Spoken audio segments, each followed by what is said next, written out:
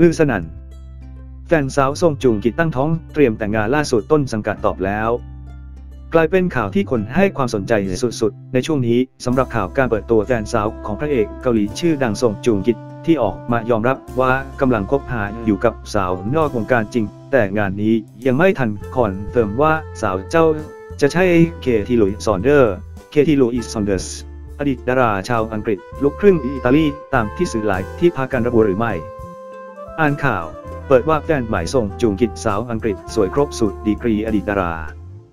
ล่าสุดก็มีข่าวลือใหม่ออกมาอีก แล้วเมื่อสื่อบีจีเอ็นตีข่าวว่าแฟนสาวของทรงจูงกิจกำลังตั้งท้องลูกของทั้งคู่แล้วหลังสังเกตเห็นท่าทางของฝ่ายหญิงและการดูแลของพระเอก ดังแถมทั้งคู่ยังมีแพลนแต่งงานกันแล้วด้วย